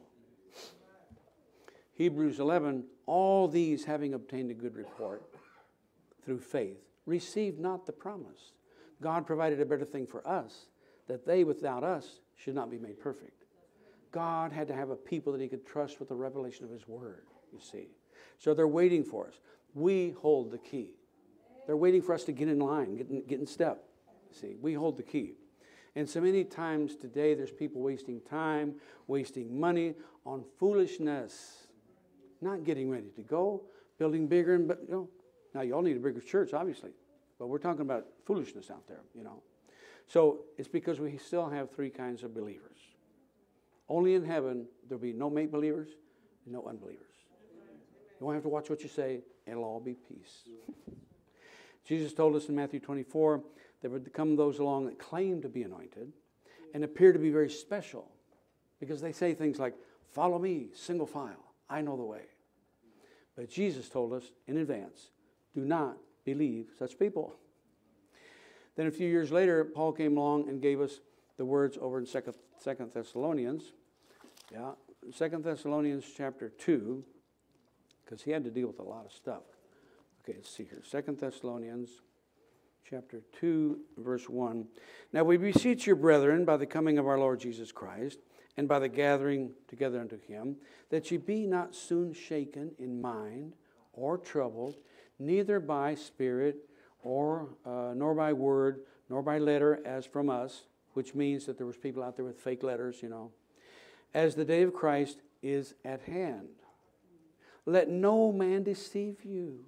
Remember Jesus over there in, in uh, Matthew 24? No man deceive you. Let no man deceive you by any means, for that day shall not come, shall not come, except there come a falling away first. So we are looking to that day, but before we get there, there's going to be a falling away from the truth. So here in this day, I say, this day, this scripture is being fulfilled. You see, there are forces operating through people, slowly removing the deity out of the name of Jesus Christ. And there are also people actively engaged in bringing fulfillment to these verses of Second Thessalonians. It's happening. Brother Branham said in 1955, as Moses went with that judgment stick before him. So here's this stick he found on the desert. Okay, you got this stick. As Moses went with that judgment stick before him, that same stick tonight to the church is Jesus Christ. If those Egyptians could have ever got that little simple stick out of Moses' hands, they would have had him whipped. And when the devil can never get the deity out of the name of Jesus Christ, he will have the church whipped. These aren't words to fill up the tape. This is a prophet speaking. These things are happening today. There's people with this same Bible. Oh, Jesus wasn't God. Well, I think we'll just have to go to the Bible and find out. The prophet says he was, so we don't have to listen to you, you know? So quickly get away from such dangerous borderline of unbelief. You see, Eve did not plan on going into such depths of unbelief. She listened, she reasoned. Oh, well, you've been here longer, maybe you know what you're talking about. Well, look where we're at. Perversion, everything, you see. So none of the individuals who have turned their back on the truth that we treasure, not a one of them plan to go that far. They really believe that they're right. But one day they'll have to close the Bible also because they can't go any farther. So it's already predicted that it's not going to be smooth sailing, troubled waters ahead. And um, so we always thought, yeah, it'll, be way out there. No, dear, now. Now is the time. But I thought everybody carrying these books and quoting our prophet would be worthy of our confidence. Well, I wish. But you better discern the spirits. It's another good tape. Discernment of Spirit, 1960. Covers it all. The day it's Jesus, they had the, the Pharisees. They knew their prophet's message to the letter. They knew when you left out of the or whatever. And um, they were li- leaning very heavily on their understanding, you see. And we have the exact situation today. People today, very important people, calling for single, single file believers. When Brother Branham says, let's arm up this way, across, make a sweep. But we're calling for single, single line uh, believers, which means take a number, go to the back of the line, don't ever raise your hand, shut up, follow. That's not God's program, you see. How can this be happening? Very simple. God's map is all on one page. I know that doesn't sound reasonable to some of you young people. But used to be we had a map book. Yeah. Sold it over at Walmart for twelve ninety five. And you want to go from Texas to Arizona. Well, let's see how we're going to get there. The map book's in alphabetical order, the states. So if you're going to go west, well, then you got to find, let's see, Texas. Well, then, well, there's New Mexico. Well, that's, Arizona's clear at the front of the book. God's map is all on one page, okay? Paul wrote, without controversy, great is the mystery of godliness. In the Spanish Bible, it says indiscutiblemente. That means unarguably. Great is the mystery of godliness. So we have super intelligent people today, and um, they're always ready to argue and make it a matter of controversy. I know them. Yeah, friends of mine. But the time is now for the fulfillment of these scriptures. Now is the time for the manifestation of every seed according to its kind. The scriptures cannot be broken, they cannot be stopped, it's in movement. Our God is on time, and He's all about balance everywhere. Our canary brain cannot interpret the mind of God. If you don't like the canaries, about a chicken brain? Pretty small. But God speaks through His anointed prophet. God fulfills His word. It's always on schedule. The time is now when this prophetic word is in effect. It's always been the case from the beginning, from the church age, from the first church until today. Brother Branham says over here in the church age book, in every age we have the exact same pattern. So it's going to repeat. That is why the light comes through some God given messenger in a certain area, and then from that messenger spreads the light through the ministry of others who have been faithfully taught. But of course, all those who go out don't always learn how necessary it is to speak only what the messenger has spoken. They add here, they take away there, and soon the message is no longer pure. The revival dies down. How careful we must be to hear one voice. Be careful. For the Spirit has but one voice, which is the voice of God. Paul warned them to say what he said, even as Peter did likewise. So we've always had voice of God on the planet someplace. He warned them that even he, Paul, could not change one word of what he had been given by revelation. How important it is to hear the voice of God by way of his messengers and then say what has been given to say to the churches. So, we as ministers, we're not innovators. We're not out here inventing and, and changing things. No, we're just trying to repeat what he said. Just stick with the program. You know, to build this church out here, there's a very expensive set of blueprints.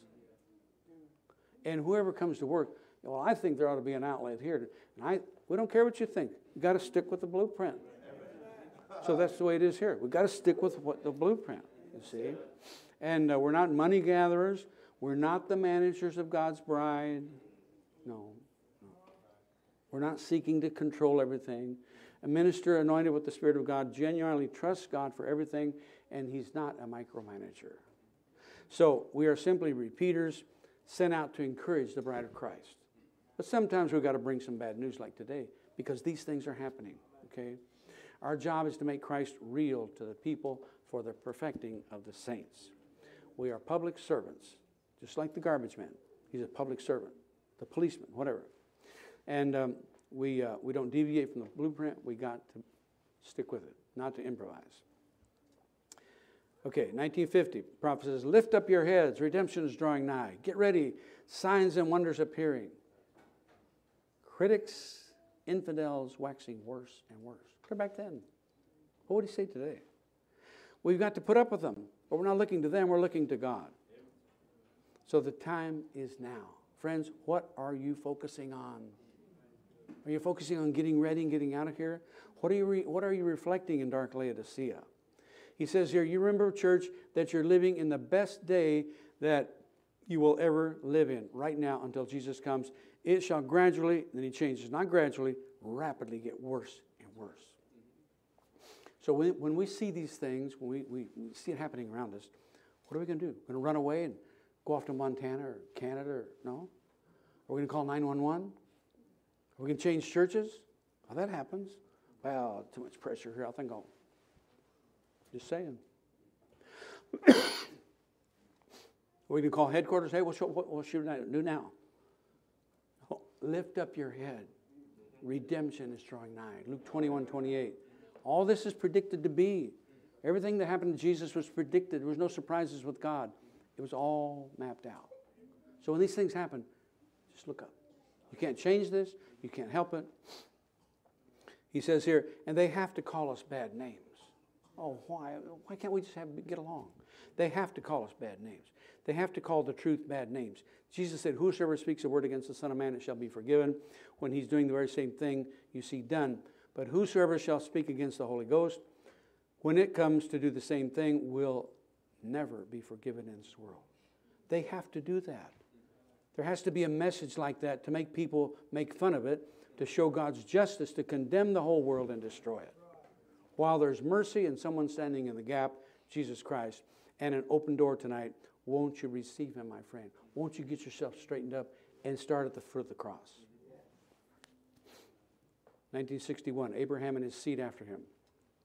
Do you know what God did? He reached out with his hand and stopped it. He is holding time in his hand for the church to make itself ready. There's a few members yet to come into the body of Christ. Maybe one of them's here today. That's why I'm here. That's why I'm led to be here, is to persuade you. I'm not saying don't be a Catholic, don't be Methodist. I'm not saying that. But I want you to be filled with this Spirit. Just remember, I'll meet you on that day. And these words will be a witness against you. It's all on God's tape recording with His great picture camera. And you sitting there, walking away and leaving it, you'll see yourself that day in the mirror of God. He says, The gospel and the power of Almighty God has spread around the world, and the separation time is now taking place. God is calling a bride, the devil is calling a church. Let me be part of that bride. You have a choice. It's not over yet. You still have a choice. So the time is now. Don't let another hour go by without getting totally serious. Be sure this is not just something you learned and you repeated. And um, like I was telling you before, they read a portion of their prophet's message every Saturday in the synagogues. And we've come around a similar situation. It's got to be alive, you see. So we must know the reality of a living God. So you must be born again to partake in the kingdom of God. And uh, the word has come to a place where God has brought you to a place where you need to be, to be restored, you see. That's the ministry of Elijah, to restore. Um, place us in correct position for the resurrection and the rapturing of a special people. Now, a couple more things. In the third seal. Now notice that God told Eve that after long, after so long a time, the word is coming back to you. Now, how did she fall? I want my class to say it. What did she fall from? The word. The word. And God said he would make a way to redeem her back to the word again. After so long a time, the word would be made known to her. All right, the word would come back for one purpose. Now, hold that, what I'm saying. The word would come back to her for one purpose for redemption.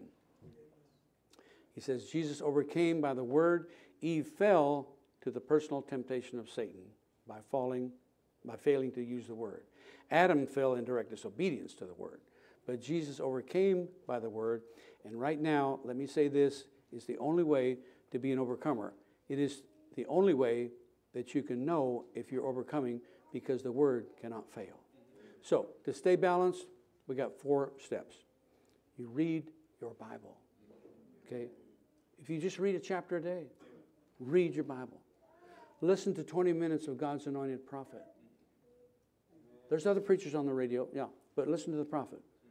Read a page in your church age book, it won't hurt you. And you pray. Even when you're stuck in traffic, you pray. You create your own personal atmosphere. With these steps, you will prosper as an individual and you'll prosper as a body of believers. As the musicians come, James 4 says, Resist the devil and he will flee from you.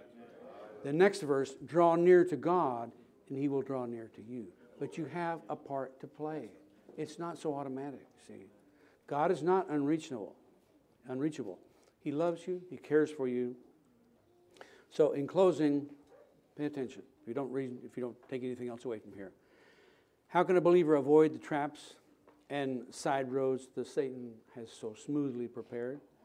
The solution is right here in your Bible.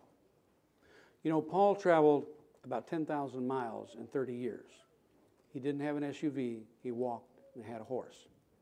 And uh, he spent some time in an area known as Galatia.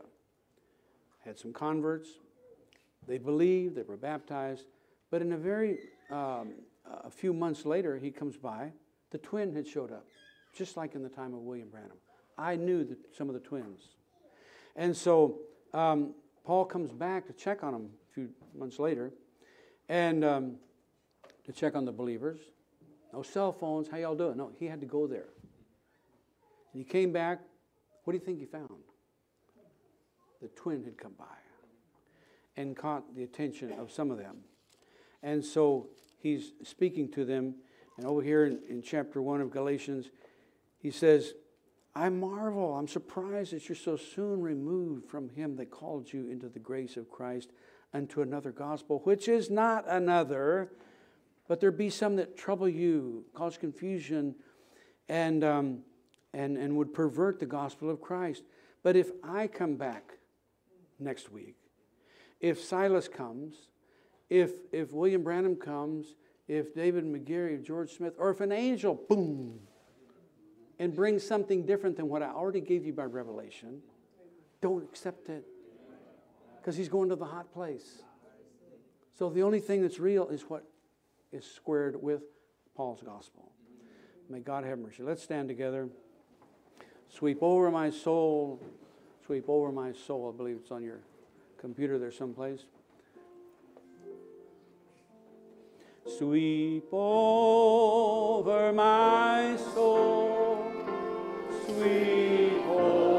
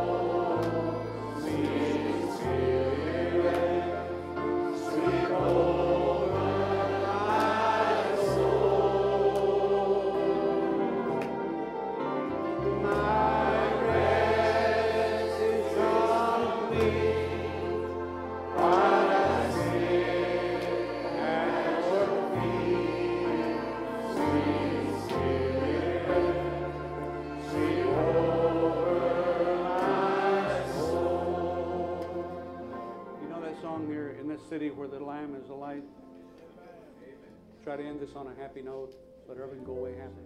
But you've heard truth. Now, what you do with it is another story. There's a country far beyond the starry sky. Oh, there's a city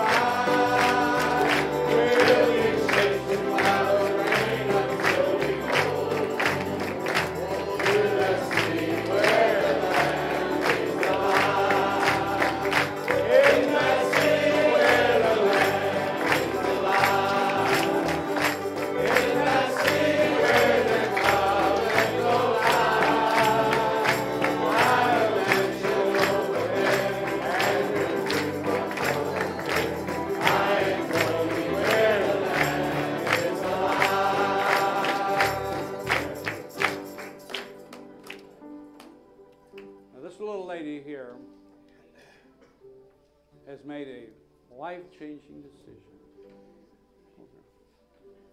Now, y'all know her as last week she was Jenna Seiler, but she did something this week, and she's got the same initials. But now it's Jenna Shelley. Shelley, we love you.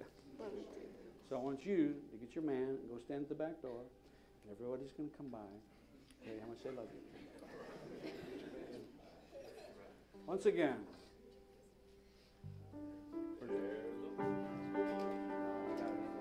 In that city where the land is high,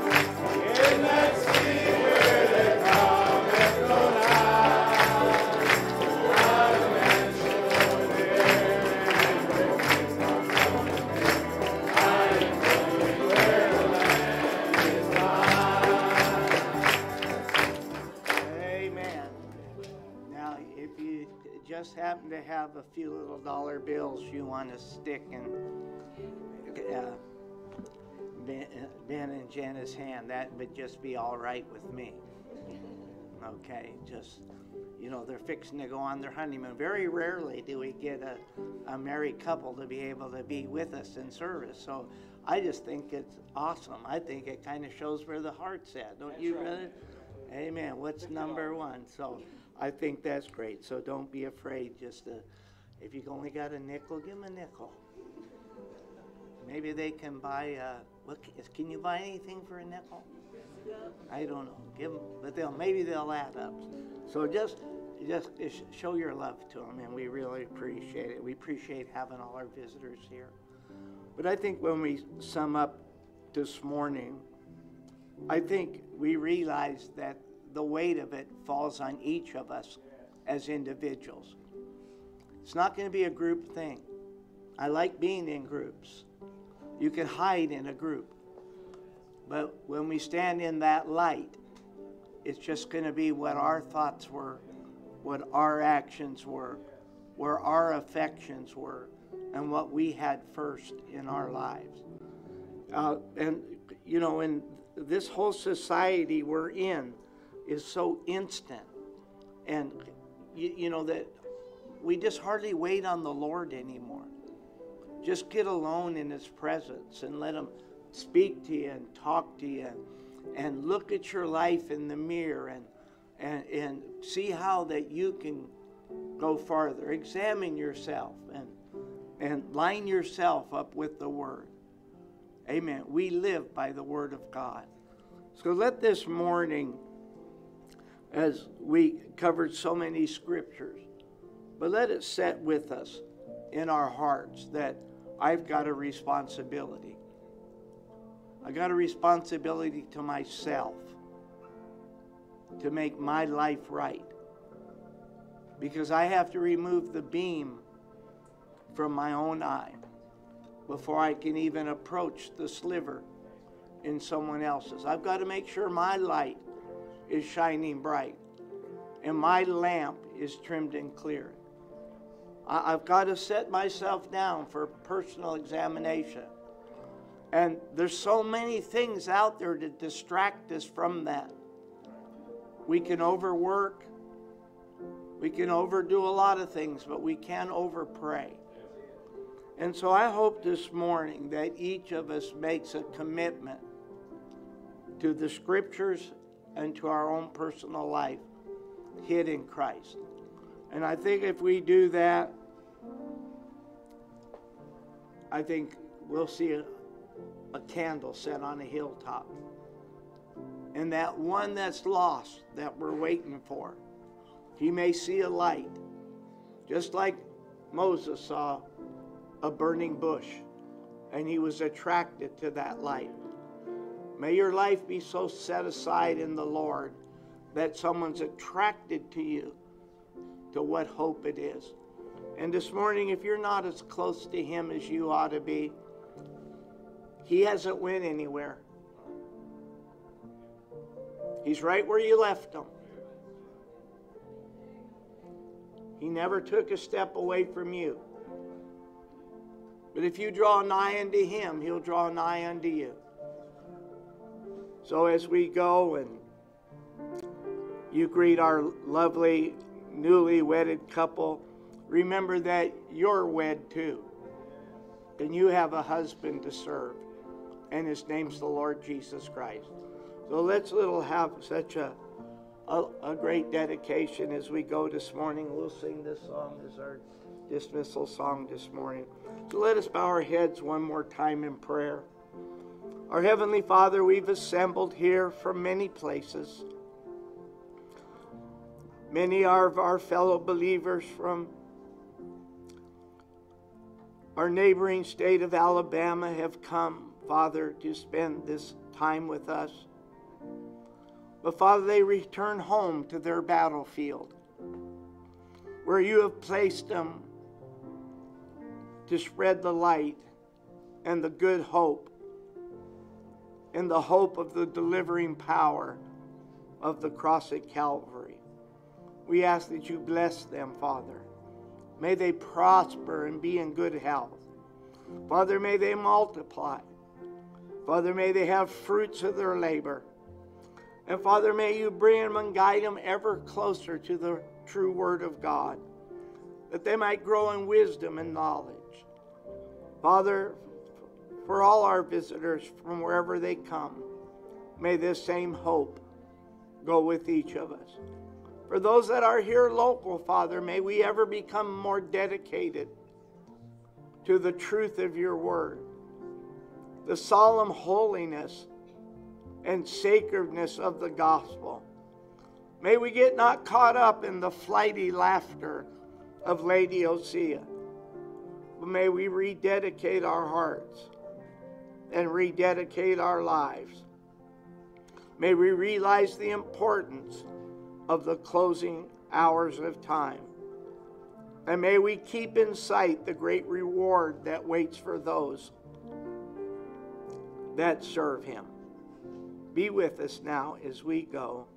In Jesus' precious and wonderful name we pray. Amen. God bless you. Go in peace, Brother Billy. You alone are